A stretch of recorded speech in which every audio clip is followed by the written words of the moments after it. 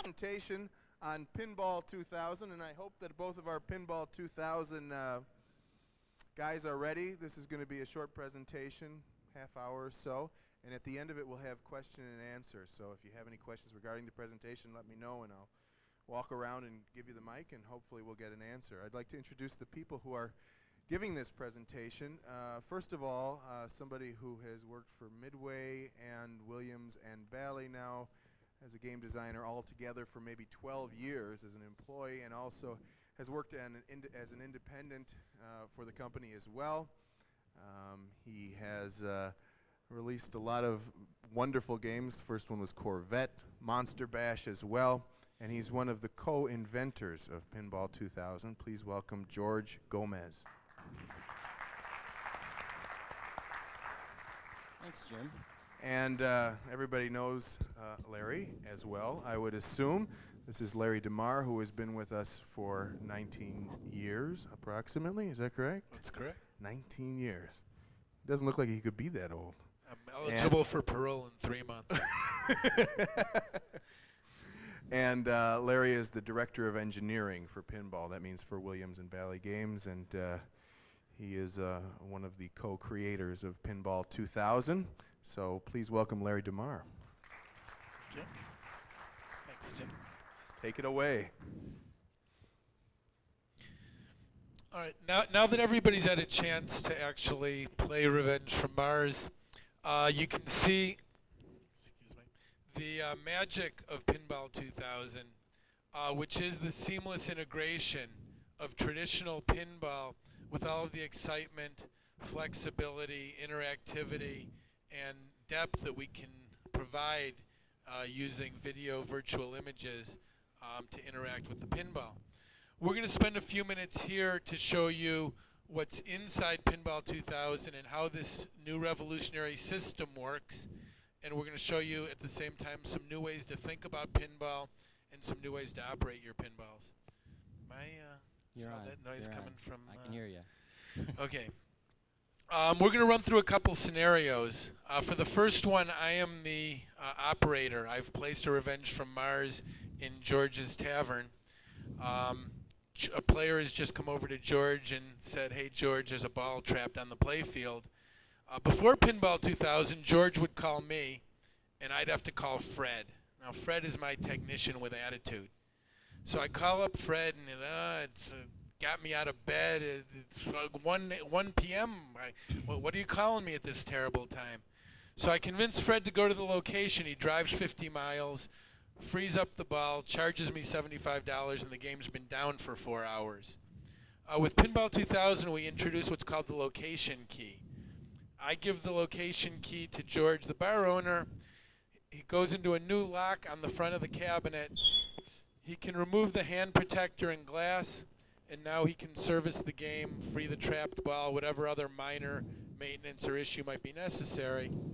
We all know while George is in there, he's going to take the money too, but the playfield remains locked firmly in place, so there's no access to the cash box, the auditing data, the electronics, or anything under the playfield. Okay, we're going to switch the scenario a little bit. Um, I'm still operating this game, but George is my collector, so now he's going to come to collect the money from the game. So he uses the regular key to the front door. All right, and now there's a release for the hand protector, so you don't have to go to that extra key. It's a, an additional release. And now magically the playfield uh, is free and comes up. It's done through this passive lockdown device. When the coin door is closed, it automatically locks the playfield in place. And this allows this location key system to work because I don't have to rely on the collector or the technician to remember to lock that playfield down. When he closes the game, the playfield's locked. When he opens the game, uh, he has access to the playfield. While George is there collecting the game, he notices there's a fault. The ball won't kick out of the ball popper. Now, George is a really wonderful collector. He's a hell of a game designer, but I wouldn't let him near a soldering iron to save my life. So um, we're gonna we're going to uh, look at a little different way of uh, doing this. Before Pinball 2000, Ball Popper's dead. George calls me. I call Fred. Fred's got a date tonight. Don't bother me. I can't get out there. Twist his arm, offer him extra compensation. Fred drives down to the location, gets to the game, diagnoses the problem, realizes he doesn't have the part. So he goes home, comes back the next day with the part, fixes the game. Game's been down a uh, day and a half. Fred's charged me $150 and given me an awful lot of attitude. Um, again, with Pinball 2000, we want to change the way that you think about pinball. I operate 10 Revenge from Mars games, and I keep an 11th playfield in George's truck. So, um, to fix a minor fault on a game, or even a major fault on a playfield, you don't need to be a technician. You just need to be able to follow a couple of easy steps. Um, is there anyone in the audience here, and I know we have some technicians uh, here for our seminar this afternoon, uh, who has changed a playfield on a pinball game, taken the playfield out, wiring harnesses, the whole thing out to put a new playfield in or to service it? Can I see a hand of someone who's changed one? How, How long, long did it does take? it take? Well, okay, for Yeah, pull the connectors off, get the playfield routing out them out of the back box. Okay. Okay. Hour two project. We've had responses from 45 minutes all the way to three hours to change out a conventional pinball playfield. Um, one of the operators said when he has to do it, he gets out his wire cutters. So, um, with Pinball 2000, we want to show you a new way to think and a new way to operate your game. So, if we have the help of our timekeeper, Is our timer do we have a magical timekeeper in the sky? Aha. All right. Voila. Um, George, our collector, is For now going record. to swap out this play field. The world, well, we'll talk about the world record in a moment, but we'll see how long it takes him. On your mark, get set, go. The first thing you notice is this skid rail system. It literally allows one person to pretty effortlessly just slide the playfield out of the cabinet. On the back of the playfield, there are six uniquely keyed connectors, and at the 11 second mark, the first playfield is completely removed from the game. We, we are uh, on a world record pace here. To put the new playfield in, you just reverse the process. The connectors go back on, and you notice we're even we're doing this live. Um, no problem. Connectors go back on. Playfield slides in on the skid rails back into the cabinet. 33. We have a new world record coming. 37 seconds, and we have replaced a playfield on a pinball machine. Previous world record was 43 seconds. Jim Shirt is going to be distraught to hear his record's been broken. All right, now we showed you how this is a good way for you to do your service on location. George will now take the faulty playfield back to the shop. It goes to Fred, and Fred, on his own time, can get to it and fix it. Fred will also have the lighting that he needs instead of being in a dark tavern.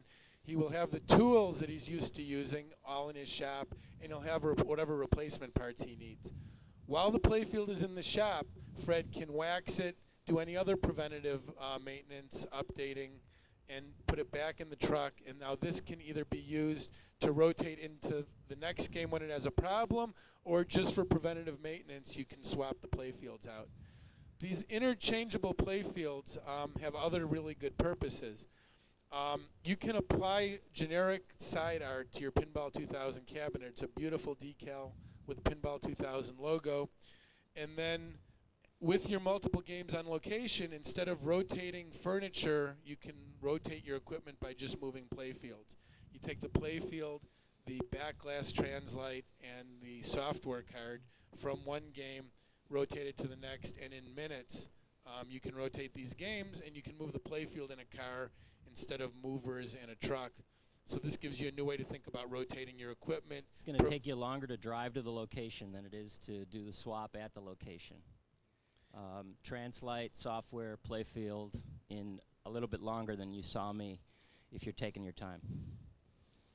Okay, and then the uh, the next uh, advantage that this playfield system provides us is the Pinball 2000 system is a convertible system, and each Pinball 2000 cabinet will accept any Pinball 2000 playfield. That allows you to rotate the equipment as we just described, giving your players um, more variation more often. But it also allows you to update these games down the road and this gives you a better return on investment. You can reuse the cabinet, the monitor, the electronics, and buy a playfield kit and convert the game, improving your ROI. Every game will be produced as both a dedicated by the entire platform or as a kit. So you can, when you get a kit, you don't uh, you don't just put software in the game. You're you're going to get a playfield, you're going to get Translite and art, and you're going to get software. That's essentially a Pinball 2000 kit. All right, and uh, George is going to take the playfield out again. Uh, something that's we used to be a chore. We just go, uh, you know, in and out, and it's really fun to service your pinballs now. And we're going to look into the cabinet. Inside the cabinet for easy access um, is the power driver board, and if we've got a good shot of it, um, right down here you can hopefully see clearly. There's a row of red LEDs there's an LED next to each fuse which indicates the status of that fuse. This means if you have a problem with the game, you can, through the uh, front door, raise the playfield, look at that row of lights, and see right away is it a fuse problem and immediately which fuse it is. But it gets better than that. In Pinball 2000, we do offer an advanced diagnostic system. And if we can get a close up on the screen, hopefully. hopefully you can um, make that out. You can see that uh, F105 is blinking red. George has just created a fuse failure, so um, you don't even necessarily have to go in to find out you have a problem. The game will announce to you, I've got a blown fuse, this is it. Um, you can't really see on the screen the contrast, but the F105 line at the bottom there is in red where the rest of the lines are in green. Um, who here can read the side of a silver top of a fuse in a dark tavern? to see what the value is after you take it out. Okay, again, the game tells you F105 is a 4 amp fuse.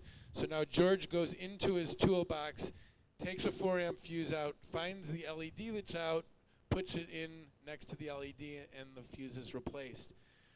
Um, other features of this power driver board, which is right here, uh, it's held down by two screws instead of many all around with a sliding locking system and it has 22 fewer connectors than the current driver board. So it is very easy and quick and painless to get this in and out of the cabinet, um, which has been a major complaint over the years. Um, on the back, the connection to the rest of the system of the power driver board is through a standard PC parallel port. And what that means to you is your laptop computer is a portable test fixture if you need to diagnose a problem in a game, you can disconnect the main drive from our system, you connect it to the laptop, you can run a diagnostic program that we provide. It helps you troubleshoot the game, it will help you isolate the problem between the main electronics and the power driver board. Um, and so that, that's a big advantage there. Finally, we have this white cover, and it is permanently attached in the cabinet. You can't get it out, you can't push it out of the way. The only thing you can do with this to put the game back together is put it down where it belongs, and that makes sure that the componentry is protected. All right, we are going to move up in. Uh, we're going to look at some of our uh, some of our other diagnostic tests. Um, here we're in switch test, and you can see on the right side of the screen it shows a picture of the playfield. So again, as the game is working with you um, with its various devices, it, it, also graphically is showing you um, where you're dealing with or where the problem is again to, to help make service easier. Now we're going to move into the back box. Okay, we've been using this portable service mirror. This is what you would have in the shop, um, or maybe your service guy would take to location if he has to go out there. Um, and this lets you view the monitor when the when the glass is not in place. But every Pinball 2000 has an emergency mirror. That's the back glass. We've provided a good place to put it to keep it out of the way, and the back glass in place serves as a mirror and you can run the diagnostics, see the images. It's there and it's always with the game. Now moving up into the electronic section, George is sliding out the logic box. And again, it slides out for easy access and removal. It just pops out of the game that easily. It's only connected with four connectors, a serial, a parallel, a monitor, and a speaker connector. You pull those off just like you're used to on any computer and the box comes right out. Again, you can throw another box in your pinball machine, keep it running, and then diagnose it, deal with whatever the issue is when you've got the time and the ability. The um, CPU, the main board in the system, is a commercially available PC motherboard. Um, it is a 233 megahertz Pentium class processor. And among other things, uh, it has a little keyboard slot like every motherboard has, so we wouldn't let that go to waste. By plugging in any commercially available keyboard, um, either this nice portable one that I carry around or just a regular PC keyboard, it plugs in. Um, you get a monitor screen here. You can do uh, various advanced diagnostics. Um, you can also use the keyboard to enter messages and other things that are more naturally done through a keyboard. Um, and we will add more capability to this feature as time goes on.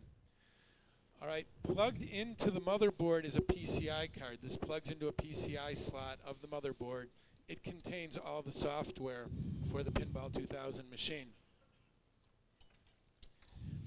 Um, the images and the sound data are all on uh, masked ROM chips plugged into the board. But importantly, the game program and the sound program are all on reprogrammable flash memory. This means that the game can be updated without programming EPROMs and without pulling chips. Um, when we issue an update, your customers will be able to get that update off of our website at pinball.com, or they can get the update directly from the, their distributor uh, provided on floppy disk. They then transfer the update to a laptop computer. Laptop computer plugs right into a serial port inside the front door. The update is transferred and it's the Pinball 2000 system puts it in its reprogrammable flash memory and you update the game literally without programming an EEPROM or touching a chip.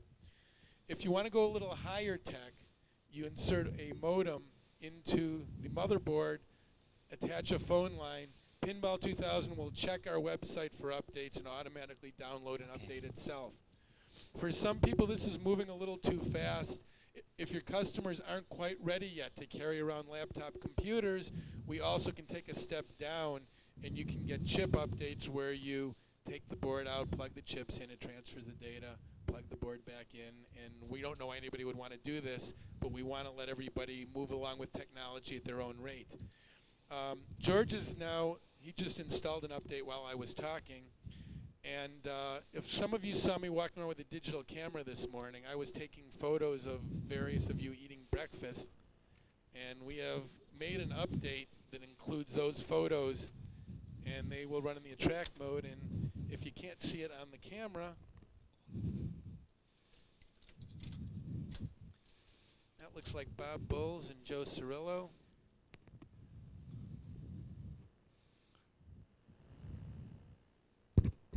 I invite everyone to come up and look at the game. And again, we've uh, taken your pictures from breakfast this morning, loaded them into our flash. Now memory. you are live in Pinball 2000, Bob, and I can hit you in the face with the ball. um, we'd like to open the session to uh, questions right now. And uh,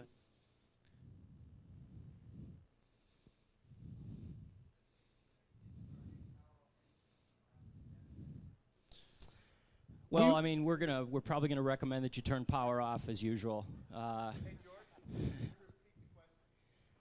yeah, the, the question was, do you have to turn power off when you uh, swap a playfield? And uh, we, I'm sure the service manual will say turn off power prior to swapping a playfield. But we, you know, we recommend turning off the power. We're here to um, it- impress but it, you. it really. Uh, yeah, no, we were trying to impress you.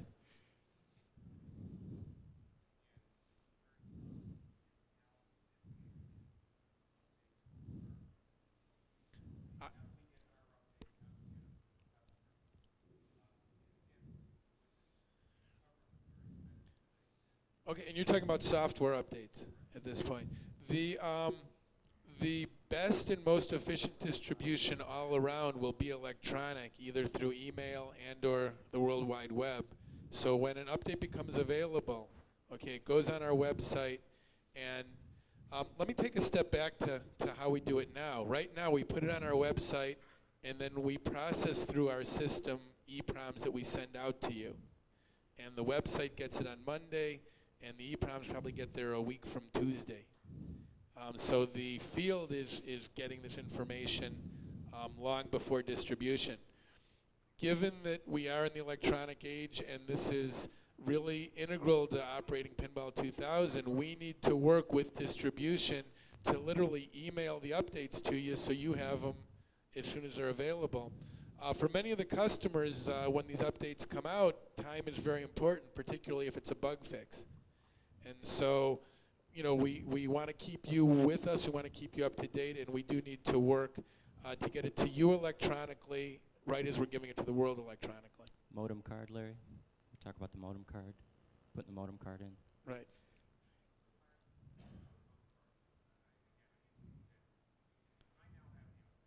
Yes.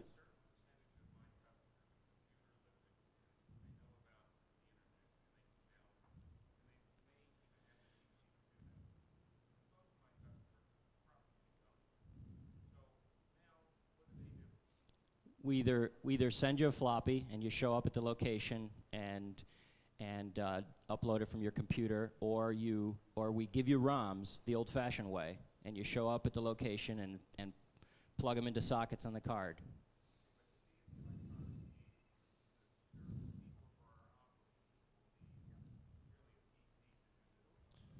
Um, it's not necessary, but we highly recommend it.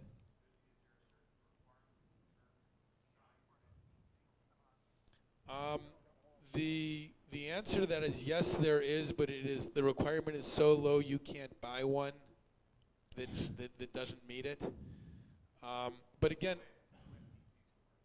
I'm sorry. I would say any Pentium. Okay, so uh, which again they, they haven't made anything less than a Pentium for about two years.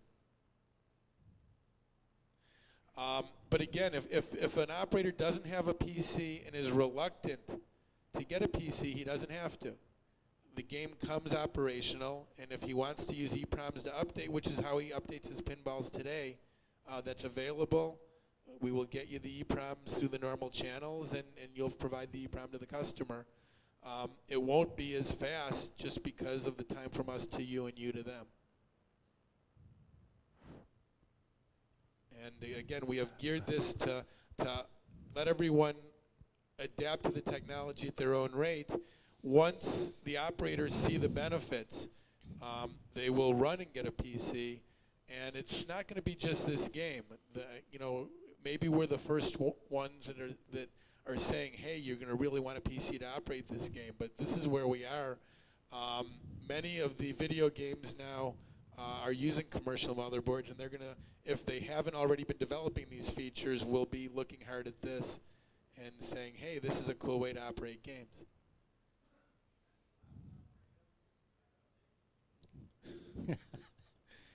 um, from the back of the room, the question was, can I use a laptop for any other use besides updates? And I think they, they're uh, trying to stress the point that um, it's a good investment to have a computer for your other business needs um, that you get if you buy it just for pinball, you get that free, or you can look at buying a laptop because you need one or want one, and then you can use it for your pinball route.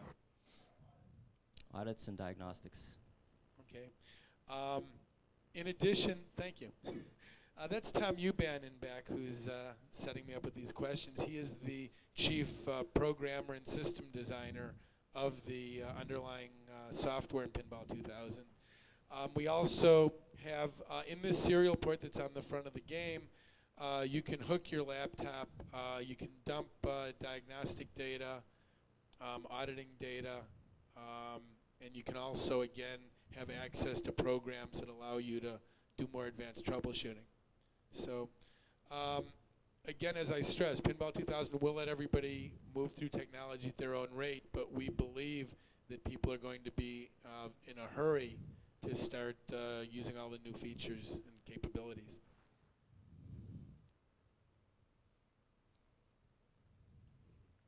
Mark?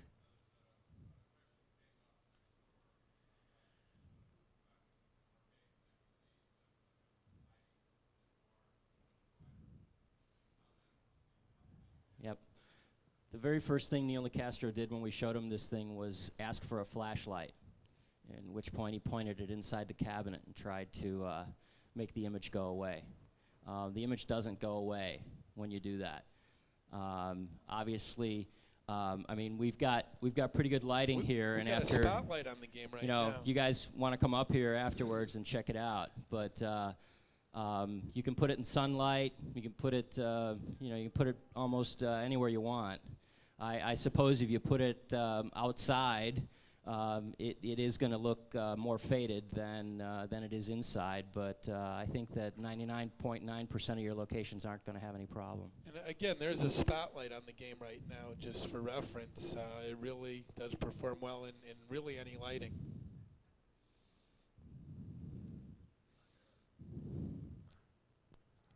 Ira.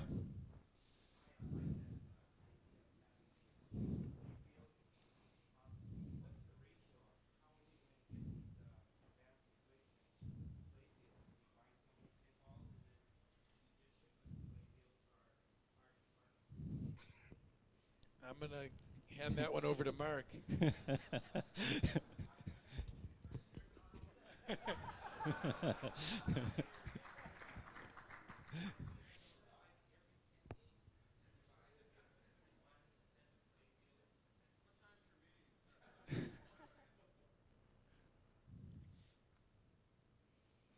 Yes.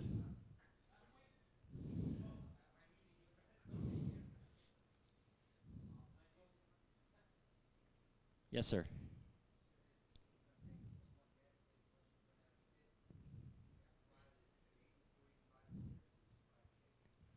Can you Mark, repeat that, You George? George, can you repeat that for everybody? Yeah, the question was, can you buy the game, or do you have to buy the game, or can you just buy the kit?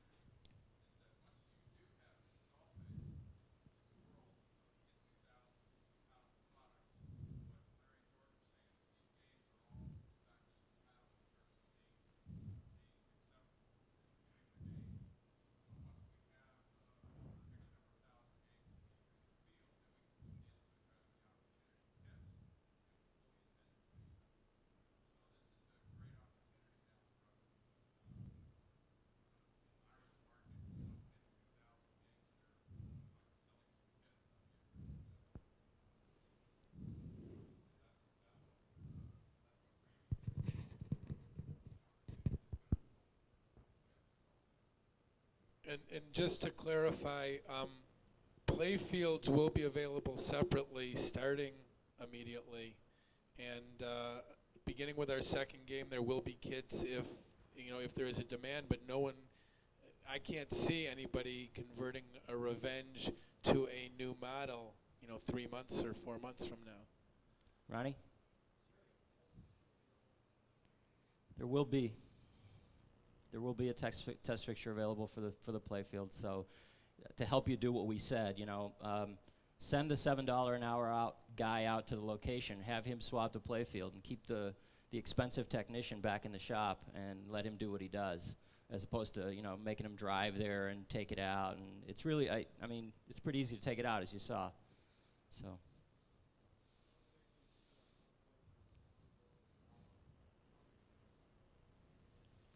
Um, domestically, we're expecting it to be 50 cents a play, two for a dollar is the factory setting.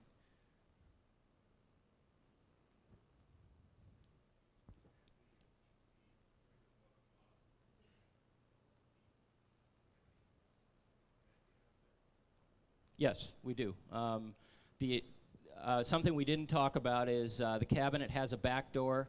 It's key to like uh, with this key right here. It allows you to uh, get the monitor out. Essentially, four bolts, and the entire monitor comes out the back. It is also vented.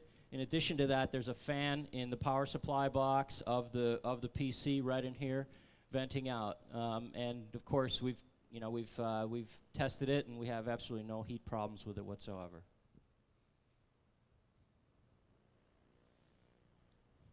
Back there, yes, sir. Um, there is the standard, uh, the standard location, the standard amount of We- space. We've been uh, putting Mars and Dixie Narco um, acceptors and with upstackers in with no problem. Yep. Sir, you had a question. Yes, we've uh, we've talked about it. We've talked about a container uh, to help us in, in getting playfields to you, and also we probably if we did that, we'd make that container available to you so you'd handle playfields. Um, we've you know we've talked about a variety of options. Something reflecting uh, a standard tool case, uh, you know, with wheels to allow you to wheel it around. Um, another thing um, the, the spacing between the skids is designed uh, such that it fits in a standard uh, two-wheeler. Um, so we've, uh, we've tried, and, and the fact that um, you know, we, have, we have gotten a consensus from all of the designers, and there is no mechanism that will exceed this dimension, so that you know, we, can, uh, we can do that with a playfield, which we could never do before.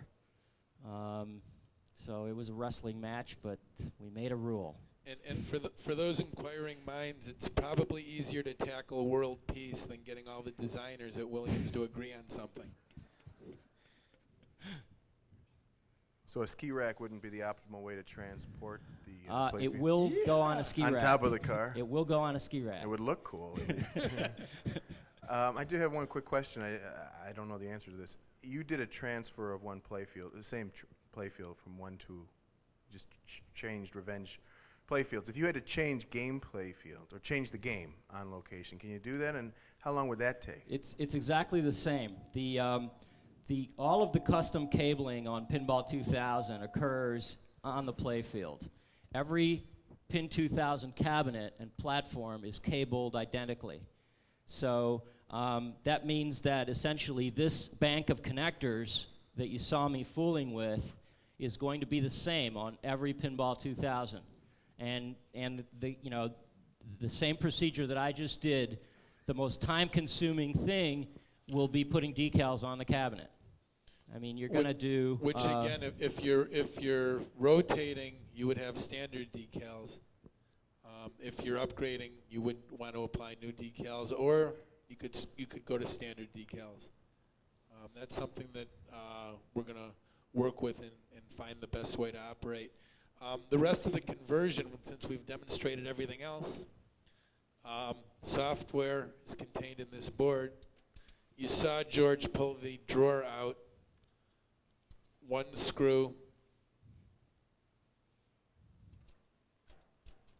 and I've now taken the software out of the game. I take the software, the play field, and the back glass and swap the other that's one in and that's your kit and a roll of decals. That's your kit. Um,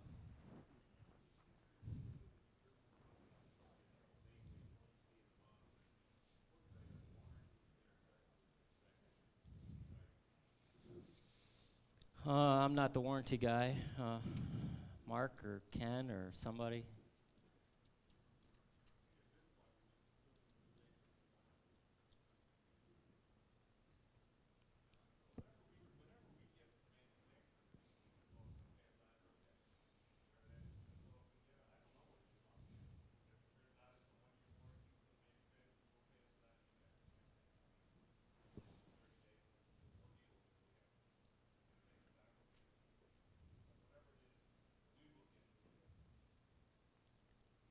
Bob?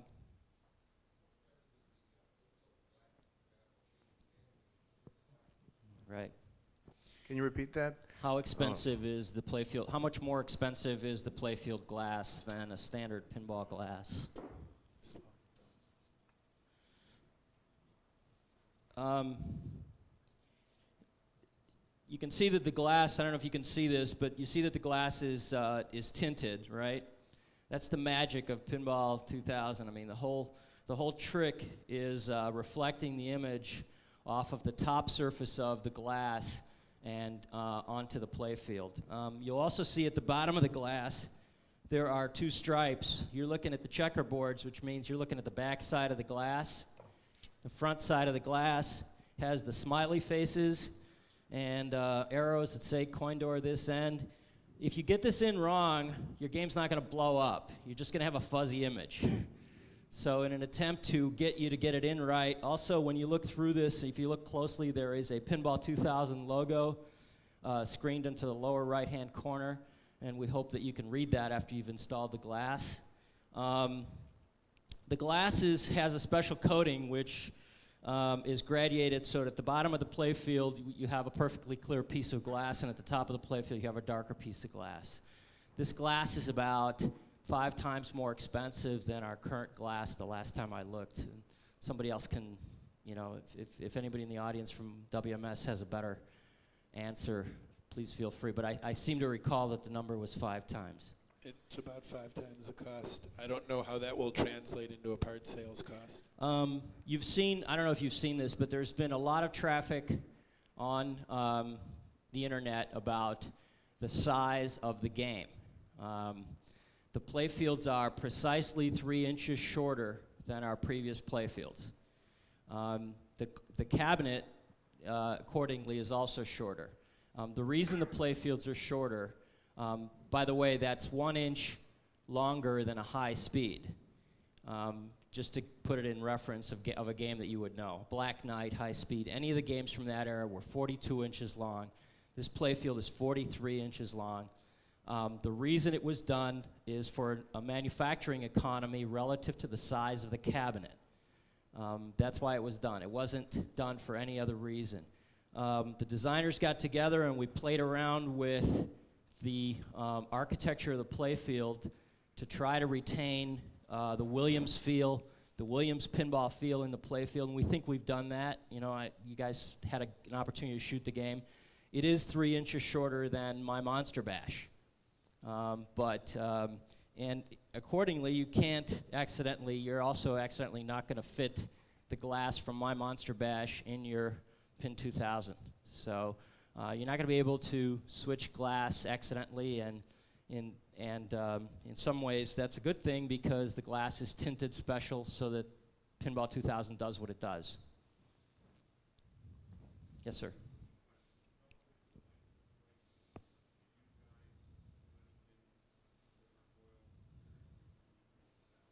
Yes. Um,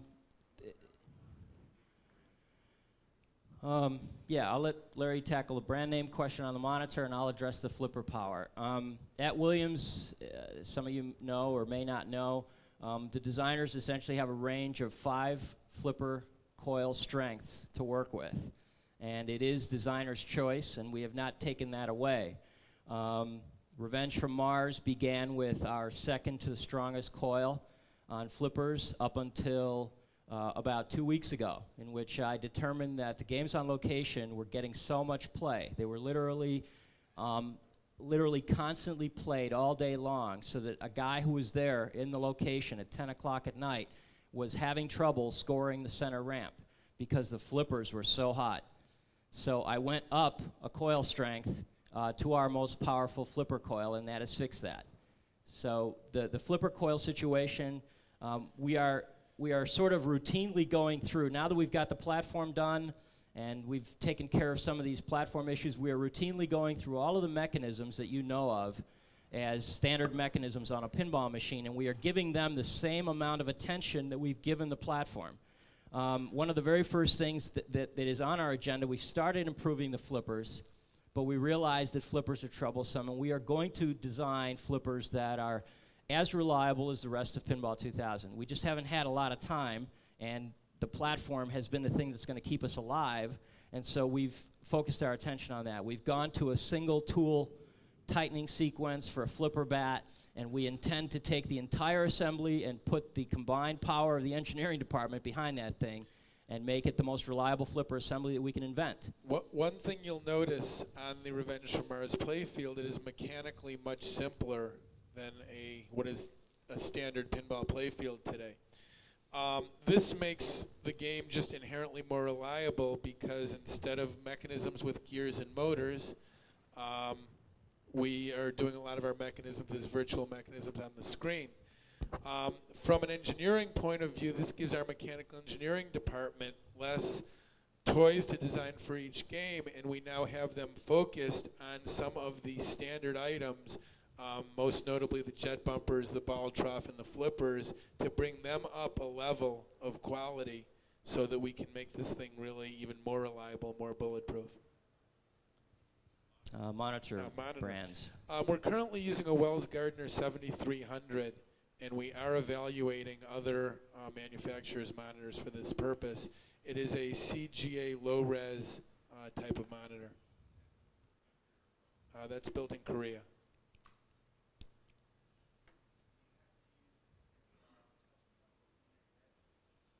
No. Any uh, Windex, anything you currently use to clean glass? Nope. And I do like to show people these rails. They uh, protect the components on the game. First time he Uh, did that to me in London, I. But literally, it, it again, it uh, pinball machines were a little harder to handle in the past, and this again is, is a, a big step forward.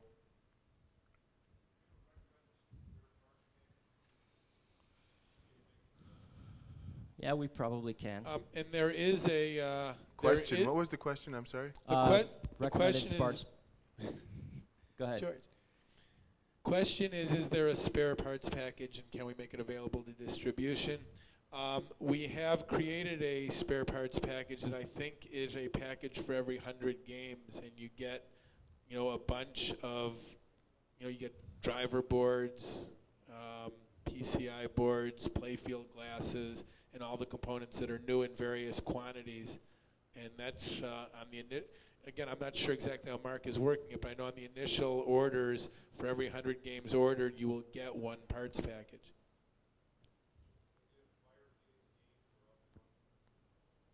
Um, you'll get you'll get it probably around the time the first games are shipped, and domestically, um, that's that's a slam dunk.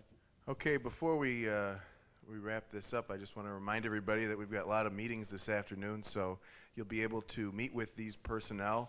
Uh, Mark's got something to say, Mark.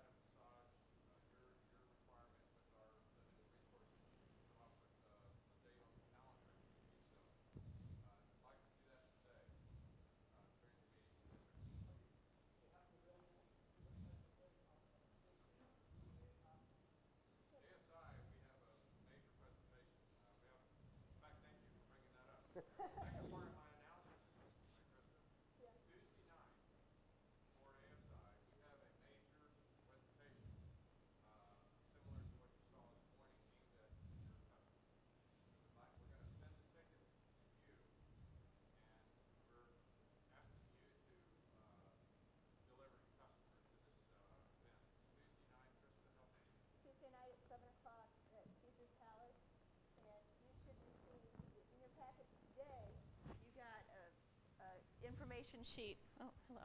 You got an information sheet that explained, uh, the event, where it was being held, the time. Um, we're mailing tickets out tonight to you, um, so that you'll have them to give to your, to your customers. And if we ask, we're asking you to send us back information about when your who's coming from your company and who's coming from your customers, and that will go out with the tickets. So if you just want to fill that out and send that back to us, it would be very helpful to us. And in addition to your uh, answer your question, we are planning on having George and Larry in our booth at the show floor at ASI.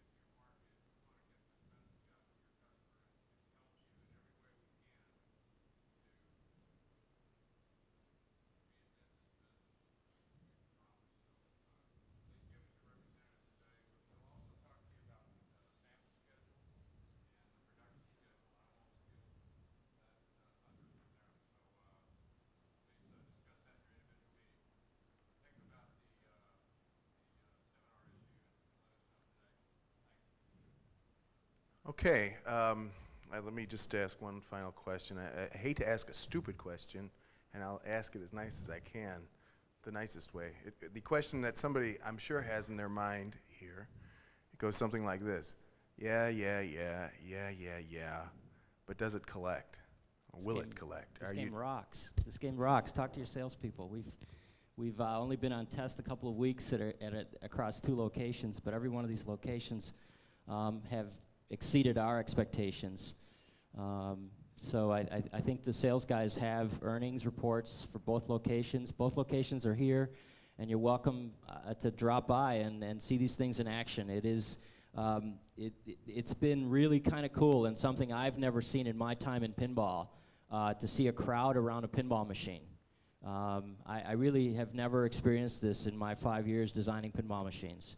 Uh, and if you go to uh, diversions uh, off of McCormick between Devon and Lincoln and walk in there and check that out, uh, or go out to just for fun and watch people uh, at diversions, we're getting, um, and this is just a gut feel thing from standing back and watching the game, but we're probably getting at least 50% of our play, if not more, is coming from video game players guys that are not familiar with the conventions of pinball. I saw two guys trading balls on a one-player game, and after they got done with that game, they coined up again. They they were they spent just as much money, but they didn't know how to orchestrate uh, a two-player game. Um, uh, they also don't know how to uh, even begin to attempt to save the ball, and this is another telltale sign.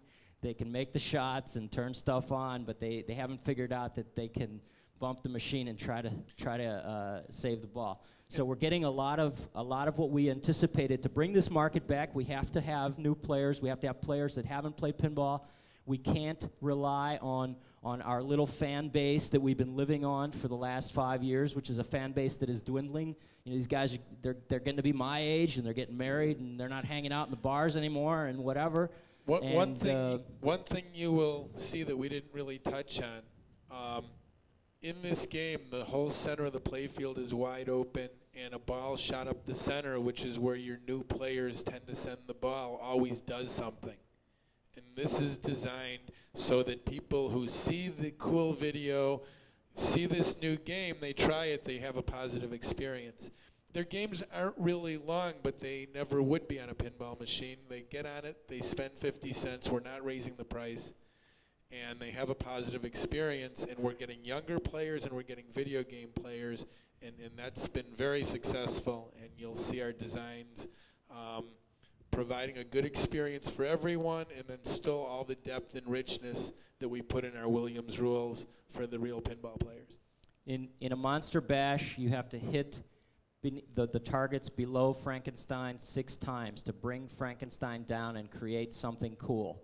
The very first thing that you see that's cool takes you six shots to the same bank of targets.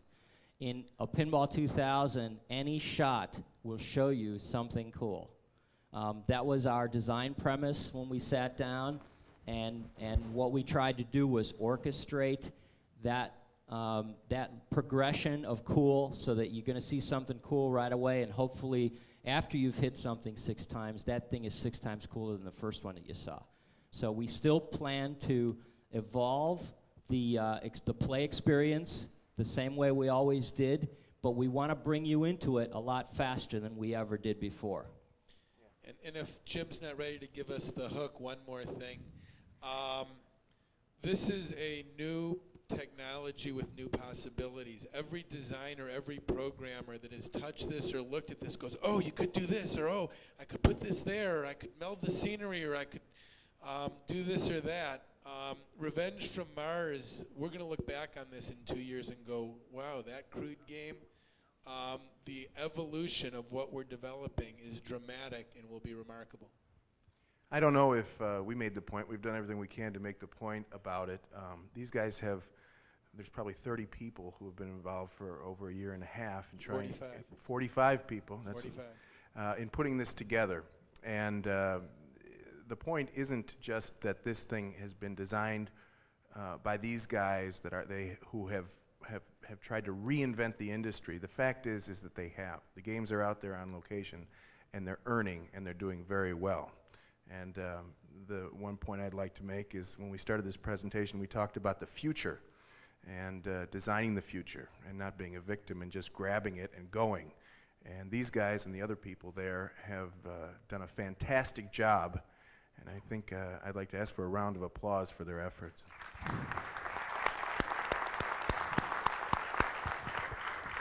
Larry DeMar and George Gomez, they'll be around to, so you can ask some questions of them later. Uh, let me just remind you about what our schedule is here. Uh, we have at 11:45, which is in 15 minutes, give you time to do a few things. Uh, we have lunch, and lunch is going to be in the next room, right? At 11:45, uh, lasts for an hour or so. I believe your first meeting is at one o'clock. Is that correct, Mark? One o'clock is the first meetings, and people, you should all, everybody should know when their meetings are during the day.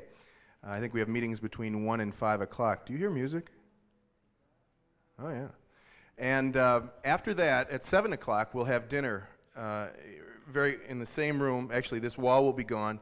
And in these two rooms, we'll have dinner at 7 o'clock tonight. You know, there's nothing better than, than after a hard day of focusing on creating the future then a little bit of entertainment and a little bit of uh, comedy, fun, and dinner. So at 7 o'clock, after your meetings, after your hard focused work, please return here. We have a couple things. We have a, a, local Chicago comedian who's fantastic, and we also have, if you're all staying here, maybe you saw on the hotel channel, something that uh, we Chicagoans are very proud of called Second City, uh, which is where a lot of uh, great comedians got their start. John Belushi and Bill Murray and all of these guys from SCTV and so forth. You've seen them all before. Anyway, we've got a, a comedy troupe coming in this evening, and uh, they're from Second City, and uh, you won't want to miss that either. So we'll see you back here for dinner at 7 o'clock. Enjoy your symposium, and thank you very much for your attention.